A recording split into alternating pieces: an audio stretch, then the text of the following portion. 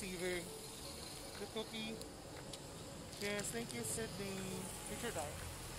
So yes, napakainit. So nakuha ko na nga yung camera. Ayan. These are cookies. Freshly baked.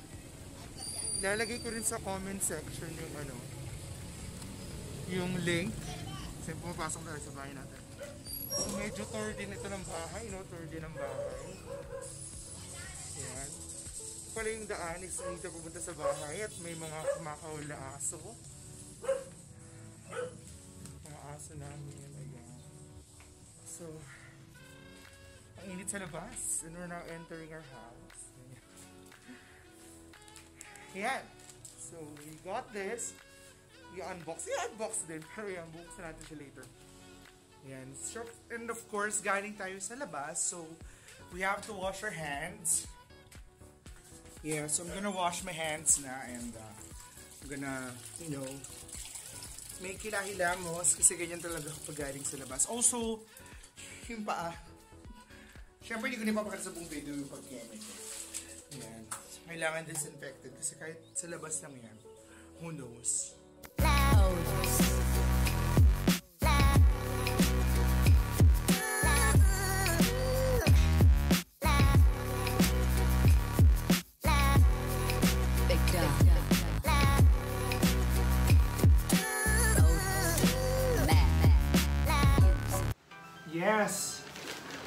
So, nakaset up na nga ang ating table na ngayon meron na siyang mantel na ganchilyo, di ba? In fairness, hindi na ako nagpulbos or whatsoever. I'm so haggard kasi init naman talaga.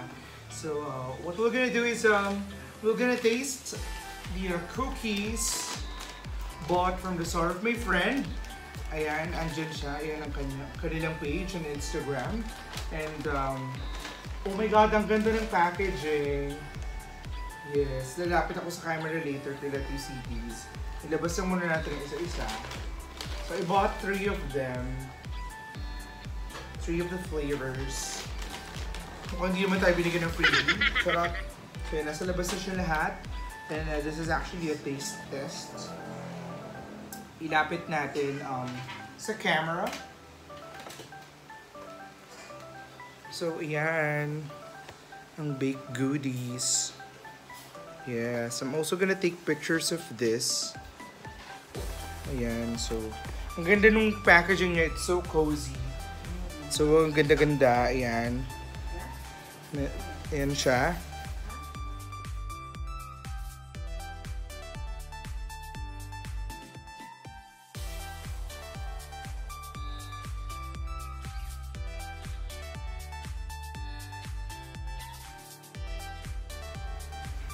So yes, um, nakita nyo na nga um, closely yung ating mga baked goodies. So this is actually a, a taste test. Taste test, hindi um, tasting of course. And um, review. I-review natin itong mga keme. Itong mga cookies na ang hirap-hirap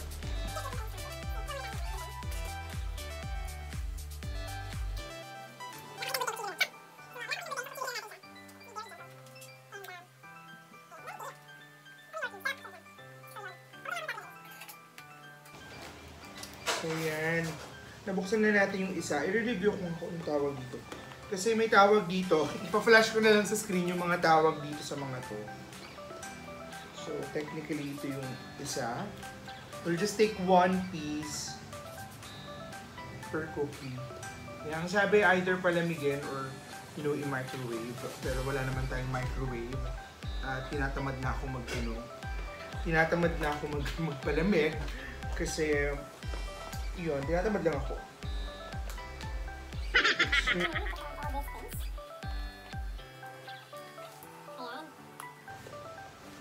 So, yes, we are removing everything. Oh my gosh. Yan. Um, I'm not sure if makikita sa video ma-appreciate. We'll just take one of these. And, uh, These are three types. Itong isa, I ordered like six pairs ba? Or four rin yata. I'm not sure. Hindi kasi na nakalagay. Nakalagay ba yung keme?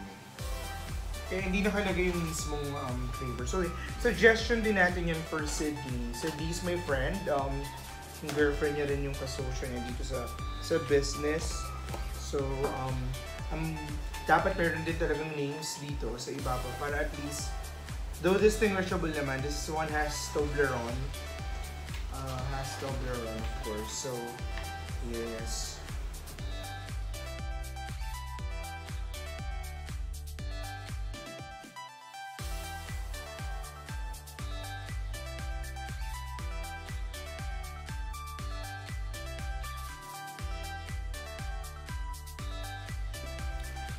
And uh, yes, of course, nilapit ko yung camera para kasi makita natin yung uh, nang malapitan yung pagkain natin itong mga uh, cookies na to. Uh, so we have the um, Hershey's S'mores. May mga Hershey's S'mores sa ibabaw. And uh, nalaman ko na kasi nga ni-review ko yung chat namin. And we have the Toblerone something, Toblerone. I'm gonna flash lang the right the, the right titles or the right um, food items. Ha. And this one is the oatmeal cream na feeling ko magustuhan ko. So, unahin na natin yung Hershey's S'mores.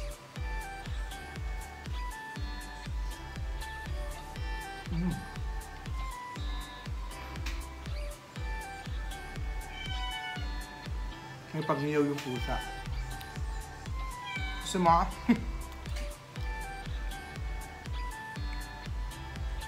so it also has graham.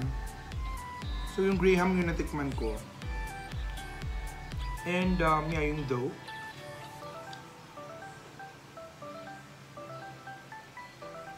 Nilalasahan ko naman of course yung Hershey's S'mores dito. Sabi na don't talk when your mouth is full. I'm so sorry. So yun. It's good. I'm not fan of chocolates kasi. Pero it's fine, it's good. Nilalasahan ko yung s'mores and the fact na may mga may mga creams and graham siya. It's it's masarap. Sunod naman natin yung um yung Toblerone. Yung may Toblerone and um meron din sa ilalim yung mga keme. So uh, let me take a taste.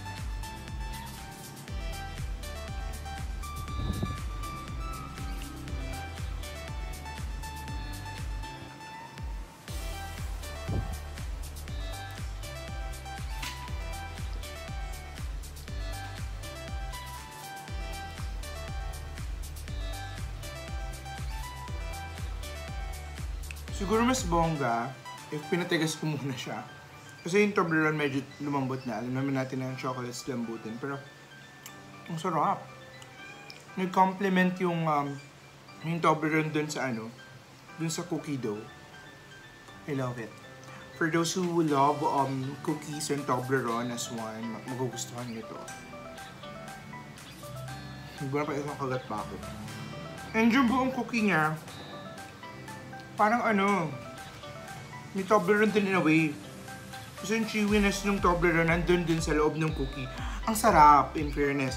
Nandito na yung pinaka-anticipated ko. I'm not sure if I have to um, to put it in fridge para mas masarap. I'm so fond with creams and everything white. Charot! Cream pie! Oh my God! Very wrong. So yan, um, ito yung feeling ko gusto. Oatmeal cream with cream filling. Feeling? Feeling? Feeling. Huh? Charot. So let's taste it now. Ang arte-arte.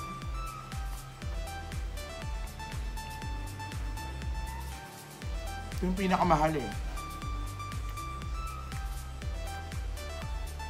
Papadami yung kagat ko kasi I love cream talaga.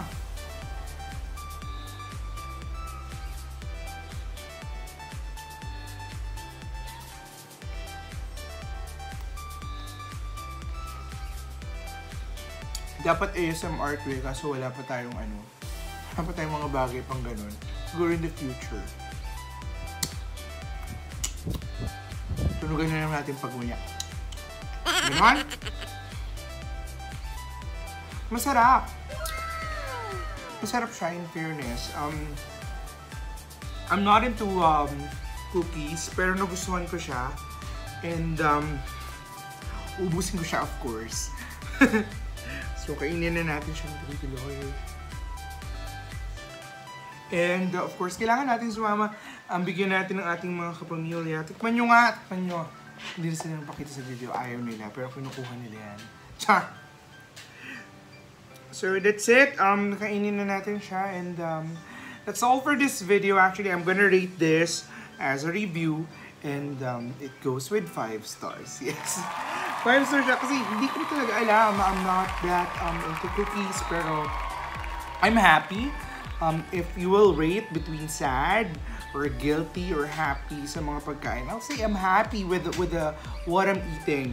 This is very good lalo na kapag nauumay ka na sa foods or you know pang pang dessert, pwedeng pwede siya if if um you want a snack uh, sa gabi or pag gusto mo na namang uya, grab one na masarap.